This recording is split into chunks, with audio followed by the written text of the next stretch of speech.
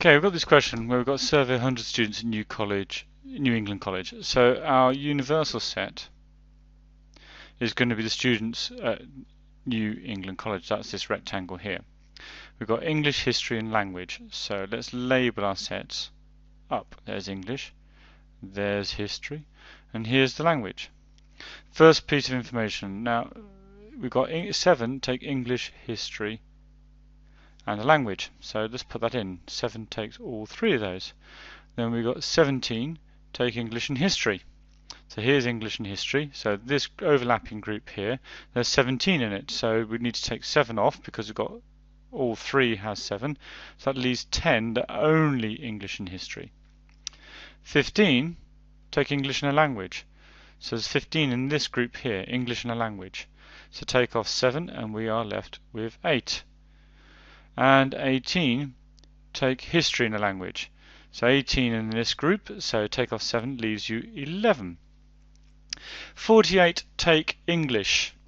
So there's 48 in this circle here. Take off the 8 gives us 40, take off 10 gives us 30, take off 7 leaves us 23. And we've just done that, so 49 take history. 49 take history, let's take off the 10s, 39, take off 7 is 32, take off 11 leaves us 21.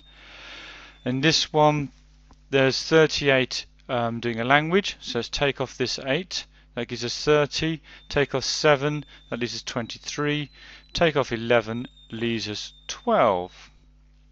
Now, we have 100 altogether, so let's see how many there is not doing any of these subjects. So let's start off with the biggest number. So we've got 49 taking history. So let's ignore the history. So that leaves us 51 to go. So take off 8. That takes us down to 43. Take off the 340. Take off the 20. That is 20. Take off the 12 leaves us just 8 who aren't doing any of these subjects. So how many take history but neither the other two? Let's just choose a different color for this so it makes it easier for us to see what's going on. So I'm going to use a bit of red. take history but neither of the other two is 21 here. So we got history is 21 because this lot take English and this lot take language. We just want this history. Okay, take English and history but not a language. So take English and history but not a language. So we don't want this. So the group we've got take English and history, but not another language. Is these 10 here. Okay, we don't want the 7 there. So that's 10. Take none of the three. Well, it's everything outside, which is 8. Take exactly two of the three. So exactly two of the three. Well, that's going to include that 10 because there's two there because I've got English and history. So I'll just underline that.